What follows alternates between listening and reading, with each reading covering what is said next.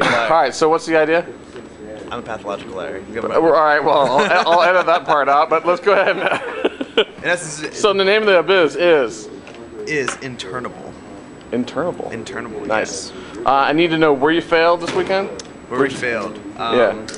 General sense of hygiene. I've got a. Yeah, I know. But project stuff like wise, any, any Um, major failures? I don't. I mean, I can't really. I can't really say. I think there was some ta- like getting on task was the the first big thing. But I think Yeah. since we found our direction, I think we're doing pretty well. Okay. Where'd you guys rock out? We rocked out pretty much everywhere else. I think it's going to be a pretty good show. Awesome. And the name again was Internable. nice. And what is it? It is a website that uh, connects uh, high school kids that want to seek internships to kind of broaden their horizons and also to uh, give them something, a leg up on their peers in colleges and things like that to be connected with local businesses. Excellent.